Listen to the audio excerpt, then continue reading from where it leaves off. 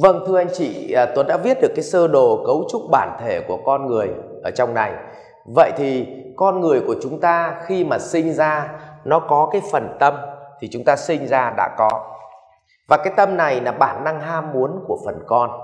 À, ví dụ như là thấy gái đẹp là thích, thấy nhiều tiền là thích thấy danh lợi là thích vân vân và vân vân ờ, thế nhưng mà cái tác động của bên ngoài này là cái ta nó gọi là hệ thống niềm tin chân lý thì cái hệ thống niềm tin chân lý này thì đối với uh, những người theo đạo Thiên Chúa thì lấy hệ thống niềm tin chân lý là Chúa Giêsu.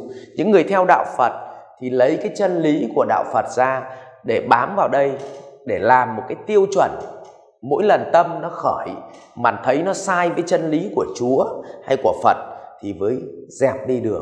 Cho nên phần lớn những người có đạo ở trong người thì ở đâu đó cái phần ta này nó hình thành rất là rõ nét. Và nếu không có phần ta thì chúng ta gọi là sống bản năng.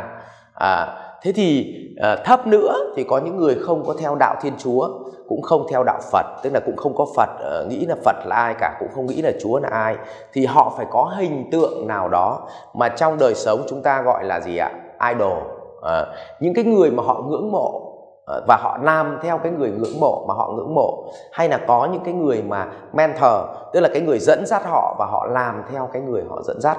Thế thì như vậy, ít nhất trong mỗi một con người thì cần phải có một cái ta. Và trong vật lý thì chúng ta gọi đây là cột mốc. Và cái tâm này nó chạy xa cột mốc một cái thì ngay lập tức là có sự so sánh và đấu tranh nội tâm để chọn mục tiêu. Chọn mục tiêu thế nào đấy mà nó phù hợp với chân lý? Và thỏa mãn cái tâm của của con người. Ờ, và à, đến đây thì chúng ta mới thấy từ cái đấu tranh mục tiêu này thì nó mới ra được cái tuệ.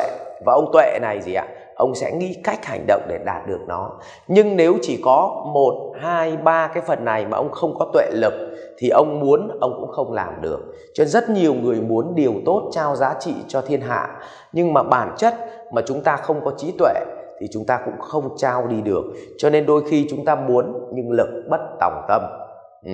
thế thì cái phần tuệ này chính là cái cách, nghĩ cách để hành động nhằm đạt được cái mục tiêu. Và tuệ, nghĩ cách thì thân nó sẽ gì ạ? Hành động. Và thân nó hành động thì nó trả ra cuộc đời mình một cái hệ sinh thái và nó bộc lộ bản thân mình. Thì nó ra là hình ảnh bên ngoài con người mình là vui vẻ hay đau khổ, thành đạt hay thất bại, cởi mở hay khép kín, mạnh mẽ hay sợ hãi, tự tin hay rụt rè, tử tế hay là bản năng.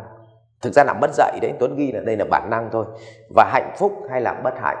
Thực ra mà nói thì chúng ta đều sống trong cả một cộng đồng này giống hệt nhau, đều có con người mà chúng ta sử dụng như nhau, đều có cái hệ sinh thái trái đất này à, đều à, được đầy đủ chân tay như nhau. Nhưng mà phần lớn chúng ta bị chết ở cái chỗ là toàn bộ cái phần này thì cái hệ thống niềm tin chân lý của chúng ta khác nhau. Cho nên khi nó pha trộn với bản năng thì nó tạo ra cái niềm tin cá nhân khác nhau cho nên dẫn tới cuộc đời của những con người là khác nhau. Cho nên à, ở đây chúng ta mới thấy mọi thứ trong con người của chúng ta thì đến bây giờ người ta chứng chứng minh là cái bản năng của tâm thì tất cả chúng ta đều giống nhau. Phần trí tuệ thì số neuron thần kinh của con người giống nhau. Chưa ai chứng minh được là ai thông minh hơn ai thông qua neuron thần kinh nhé. Ừ. và phần thân của chúng ta cũng đầy đủ chân tay giống hệt nhau. Vậy nó chỉ khác nhau người nào được được chuyên được những cái chân lý, được hấp thụ được những cái chân lý tinh hoa và nó đúng đắn, thì người đó tạo ra một cái niềm tin cá nhân đúng đắn. Cho nên đây chính là sơ đồ. Và toàn bộ trong sơ đồ này, sự sai khác cuộc đời của mỗi con người, nó nằm ở chính cái hệ thống niềm tin chân lý. Vậy thì đến đây các anh chị sẽ hỏi là niềm tin chân lý là do cái gì nó tạo lên? Vậy thì chúng ta phải nghiên cứu tiếp là niềm tin chân lý do cái gì nó tạo lên và làm thế nào để chúng ta điều chỉnh niềm tin chân lý cho chính mình và cho con mình. Hay thậm chí, khi các anh chị mang cái này, các anh chị ứng dụng vào trong đời sống, thì một người họ phản ứng với anh chị thì anh chị phải hiểu, đừng chấp với cái thân của họ, cũng đừng chấp với cách nghĩ của họ mà chúng ta phải hiểu họ đang có vấn đề về hệ thống niềm tin. Và chúng ta phải giải quyết tận gốc hệ thống niềm tin thì nó mới giải quyết được cái bài toán bộc lộ ra bên ngoài. Nhưng phần lớn các phụ huynh của chúng ta bị dính mắc là chúng ta hay tập trung vào cái gì ạ? Vào hành vi. Nếu nhìn vào cái cái phần thân này, tức là chúng ta chấp với hành vi. Nhưng để có cái hành vi này thì nó lại phải nằm ở trí tuệ, hay là cách họ làm.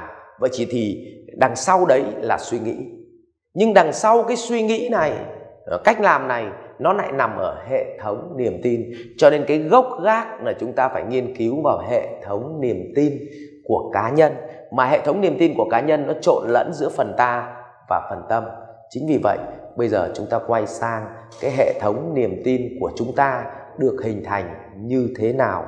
Mà biết nó hình thành thì chúng ta mới điều chỉnh được nó. Thì mời các anh chị qua cái bài tiếp theo là cái gì ạ? Cái cái hệ thống niềm tin và cái nền tảng hình thành nên nó. Mời các anh chị.